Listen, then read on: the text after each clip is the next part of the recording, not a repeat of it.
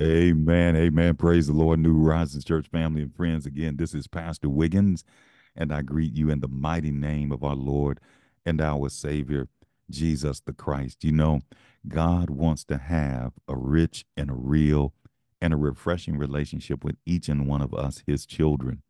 And one of the ways that God does that is he obviously sent his son, Jesus Christ, into the world to die for our sins that we might have eternal life in his name and he said also that we might have life more abundantly. But not only does God want us to be saved, but he also wants to have a relationship with you and me. And so he lets us know who he is by telling us the names of him in the word of God. And when we realize God's names, it helps us to understand his attributes, his character, and the way he operates. And so we've been studying this month the names of God and praying those names back to God.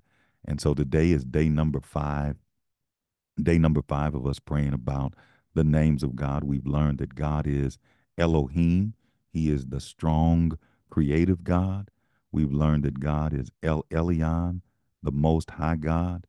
And we've also learned that God is Adonai. He is the Lord, the Master, and the owner of everything. And so I want to continue today praying um, to the Lord as Adonai, the master, the Lord, and the owner of everything, from Psalm 50 and verse 9 through 10. Psalm 50 and verse 9 through 10 from the New International Version of the Word of God says, I have no need of a bull from your stall, or of goats from your pens, for every animal of the forest is mine, and the cattle on a thousand hills. Amen as God is addressing the psalmist and the people of God here, he's reminding us that he has no need of a bull from our stalls, or goats from our pens, or any other sacrifice that we give him, because he reminds us that every animal in the forest belongs to him, and all the cattle on a thousand hill belong to him. He is Adonai, the owner of everything, the master, the Lord. And when we relate to God, we need to remember that He is the God, the owner of everything. So today, as we pray according to Psalm 50 and verse 9 and 10, we want to pray, number one, that we will submit ourselves as servants to the Lord, the master, the owner. And secondly, we want to pray and thank God that the Lord Adonai, that he is, in fact, owner of everything. And then thirdly and finally, we want to pray that the Lord Adonai would supply all our needs. As the owner of everything, he owned the cattle on a thousand hill.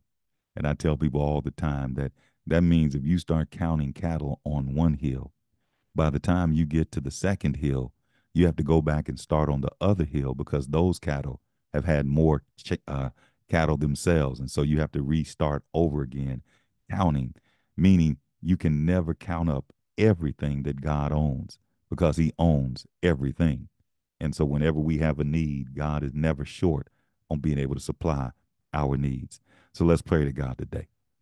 Father, in Jesus' name, we love you, we honor you, we bless and praise your holy name. God, we declare that this is the day that you have made, and we are rejoicing, O oh God, and we are glad in it.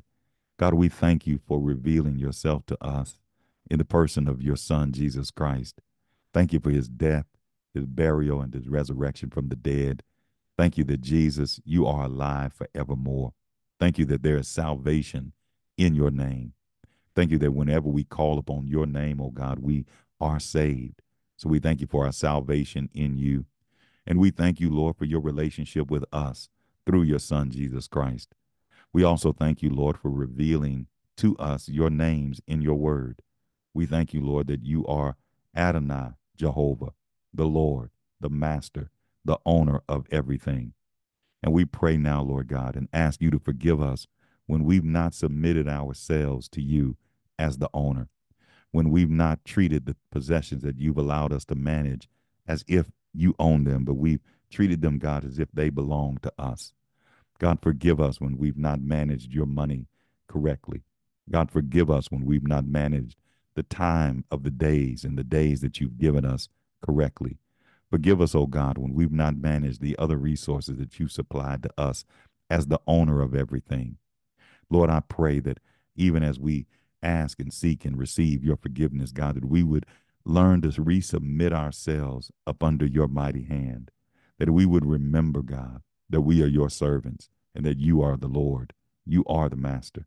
So, Lord God, we submit ourselves up under you and we humble ourselves under your mighty hand that in due time you would exalt us. Lord God, we pray and thank you that you are the owner of everything, that you have no need of bulls from our stalls or goats from our pens, because every animal in the forest belongs to you, even a cattle, even the cattle on a thousand hills belongs to you. God, you are the owner of heaven and earth. You are the owner of everything therein. And so, God, we just praise you and thank you that everything belongs to you.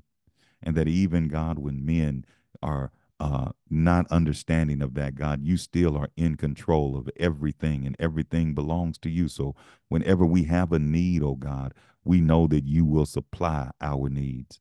For we are your servants, God. And as we try to do your will in the earth realm, as we try to save souls, as we try to develop disciples, as we try to do ministry in your name, God, you'll supply every one of our needs. God, as we try to love our families and lead our families, you will supply every one of our needs. Lord, as we try to manage the resources that you have given to us in business and on our jobs and in our educational pursuits, Lord, when we come up short and don't have what we need, God, you are the master. God, you are our Lord. You are the owner, and you shall supply, you said, all of our needs according to your riches in glory by Christ Jesus. Lord, we thank you that you are, in fact, Adonai, the Lord Jehovah Adonai, the Lord that is the master of all and the owner of all. And so, Lord God, we thank you and praise you that all of our needs are met, that we don't have lack, God, that we'll be living in abundance and we'll learn to praise you no matter what the situation or circumstance because you are deserving of our praise. From the rising of the sun unto the going down of the same, at all times and in all places and for all things. God, you are worthy of our praise. So we bless you and we praise you today. We glorify and magnify you. We lift you up and we say hallelujah to your name. We thank and bless and praise you for it. In Jesus' name we pray. Amen. Amen. Again today, we prayed uh, to Jehovah Adonai, the Lord, the master, the owner of everything, according to Psalm 50, verse 9 and 10.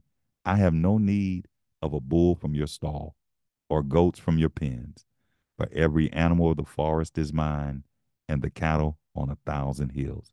God is the owner of everything. And so go in the assurance that as his servant, he will supply every one of your needs. I'll be back to pray with you again tomorrow. We'll be back. God bless.